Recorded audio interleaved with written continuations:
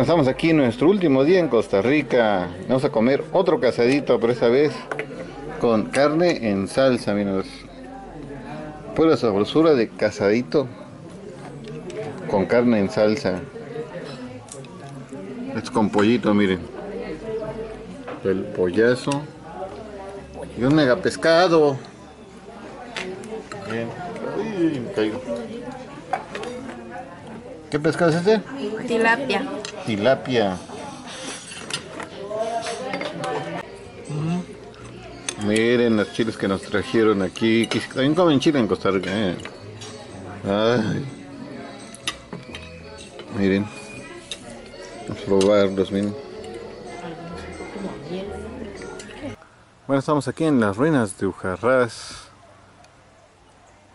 Bueno, que según aquí dice, fue una de las primeras edificaciones aquí en Costa Rica dedicadas a la Virgen María. Con título de Limpia Concepción de Ujarrás. Represa de Cachí es una represa hidroeléctrica. Hola, hola, estamos aquí en la represa de Cachí. Mira, nada más vamos a asomarnos a la altura.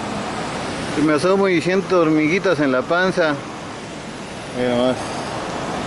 Ahorita está cerrada, no me tocó verla, pero miren, nada más para que vean la altura.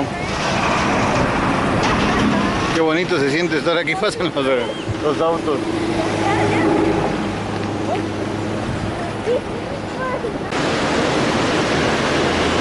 Hola, hola, miren esta vista impresionante que dado de la represa en el río.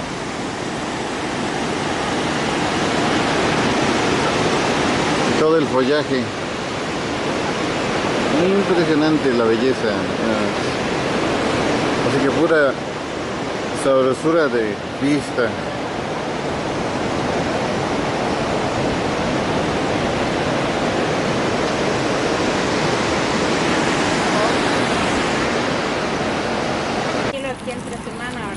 Ah, sí. Sí. Mira, después de la represa nos trajeron a probar una rica chorreada. Miren qué sabroso está. Es de harina de maíz. Miren nada más. Pura sabrosura. Y miren también hay elotitos. ¿Esto qué es? Son pinchos de carne. Pinchos de carne y con una chorreada. ¿De qué? Un poquitito. Ah, mira lo que le dieron aquí. Los chicos dicen natilla, no crema, ¿vieron? Pura sabrosura. Mira los elotitos.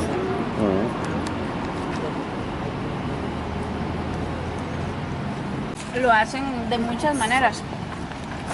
Miren, esto es como, Es un dulce.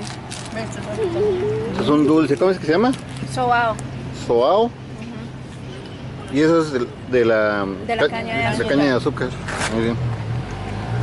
Tiene maní, mantequilla, maní, varios ingredientes.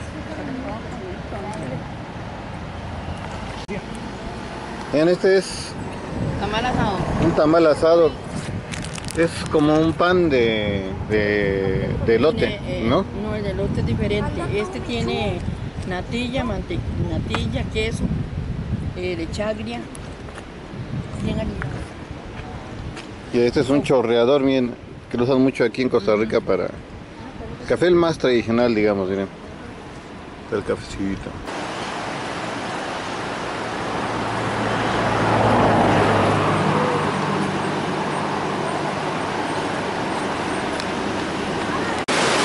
Miren qué bonitos y ven, miren.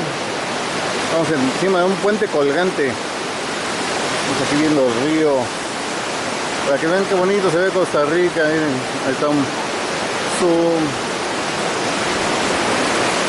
Perdón caballero, ¿cómo se llama el río? ¿Cómo se llama el río? Ventazón. Ventazón. Gracias. Eh, como vieron estamos en el río Reventazón. Miren qué bonito se ve.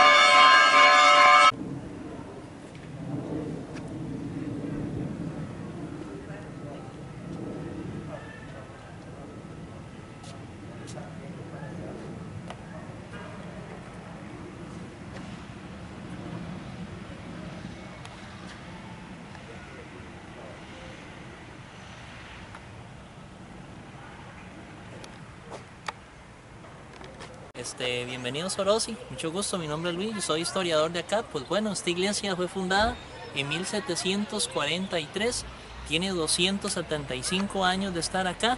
El material es bareque, compuesto con tierra, arcilla, estiércol de ganado, caña brava, cal y tuna, que es el material que lleva la estructura de este templo colonial. Esta es la primera iglesia de Costa Rica que se encuentra viendo al contrario de todas. ¿Por qué? Todas las iglesias tienen que ver al oeste donde se oculta el sol y esta mira hacia el este. Nuestro santo patrono San José, que es la imagen que está en el central del altar de la iglesia, la habían traído de México en época colonial del año 1700. Cuenta la leyenda de que era para evangelizar a nuestros orígenes indígenas de Talamanca. Pero los indios nunca aceptaron la religión católica. ¿Por qué? Porque ellos los sentaban alrededor y les mostraban un crucifijo y les decían, hermanos, miren, este que está en la cruz es Cristo, el que ha derramado su sangre en el madero santo para perdonar nuestros pecados. Pero ¿qué decían los indios? Nosotros no queremos recibir la religión por el daño que nos hicieron los españoles, de matar a nuestros hijos, a nuestras mujeres, para quedarse con el oro del país. Al bajar ellos la montaña encontraron este valle maravilloso, rodeado de colinas, montañas, frondosas vegetaciones, donde elaboraron un templo antes que este, al oeste, a orillas del río. El río se llevó el templo en tres ocasiones. La imagen de San José había desaparecido. Tres días después lo encuentra el cacique dueño de estas tierras llamado José Francisco Orocay del Reventazón, que Orocay en español es Orosí. Ese cacique específicamente él lo que quería más que todo era de que la iglesia fuera hacia el este viendo a su amado Talamanca y que el nombre del pueblo naciera por medio de un tributo y homenaje a su apellido. Ya que ahí es donde se nombra el pueblo Orosi y terminada la iglesia viene Miguel Cabrera y Juan Correa, quien era el pintor que pintó todas las obras de arte que están dentro del templo. Como él era mexicano, hay una Virgen de Guadalupe que es la que representa de que los fundadores eran de ese país. Pues bien, como ustedes han logrado escuchar, son una de las historias de acá. Mi nombre es Luis, yo llevo 13 años de estar acá dando la reseña histórica.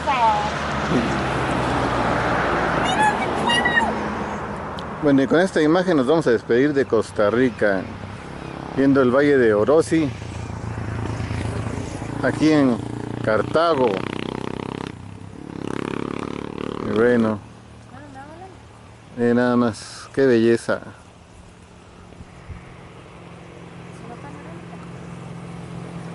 Pura vida, como dicen aquí en Costa Rica.